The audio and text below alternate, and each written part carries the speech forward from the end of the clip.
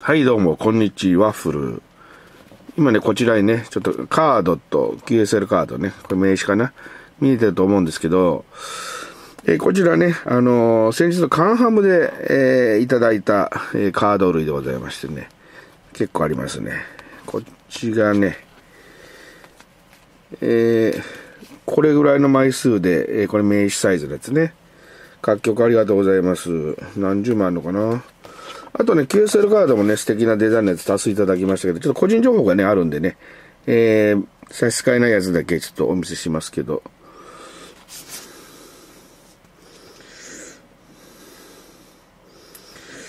差し支えないやつねえな。じゃあ全部モザイクにしときます。すいません。モザイクです。はい。これ大丈夫かな？これとこれは大丈夫かな？はい。えっ、とね、多数のご来場ありがとうございました。えっ、とね、延べでね、200人ちょっとお越しいただいたみたいなんですね。あの、ワッフルズブースにね。ありがとうございました。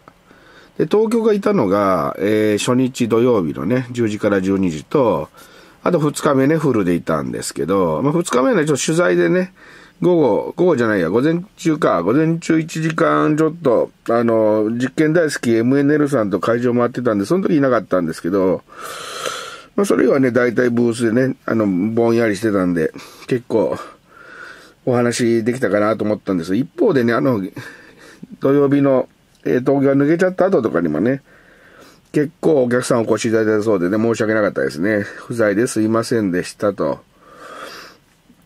で、今度分かったのは、あの、カンフ2日目は広い人少ないんで、あの、アイボール目当ての人は2日目にね、あの、誘い合わせでお越しいただくと、ゆっくりお話もできていいなと。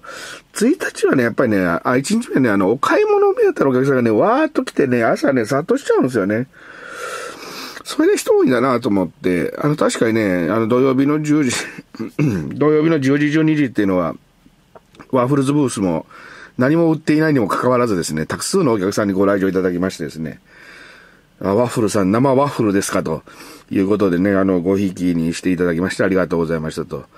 で、当局のね、あの、用意したステッカーは完売って、まああの、配布終了になりまして、別ステッカー出したりとかね。あとカード類の方もね、えっ、と、旧バージョンのね、あの、カードがもう終了になりました。はい。えっとね、また皆さんとお会いできることをね、楽しみにしてますんでね。あの、来年のカンハムもね、ワッフルズ出店すると思いますんで。今、次はね、物販するかな。あの、ジャンクじゃないですけど、なんか売りますわ。はい。と思います。はい。えー、どうもありがとうございましたということですね。いや、カンハム楽しかったですけど、ちょっとね、会場がね、暑いんでね、あの、暑さ対策ね。水分持ち歩くとかね、うちわとかいいですね。うちわとか持って歩くといいですね。あの、ポータさんがうちわ配ってたかな。ね、あと、あ、あとあれだ、あの、総務省の電波適正利用の係の皆さんも、うちは配布してましたね。ああいうのを手に入れて、あの、仰ぎつつね、休みつつなんていうのがいいかと思います。はい。感想としてはね、東京もすごく面白くてね、いろんな人とアイボールできてね、よかったんでね。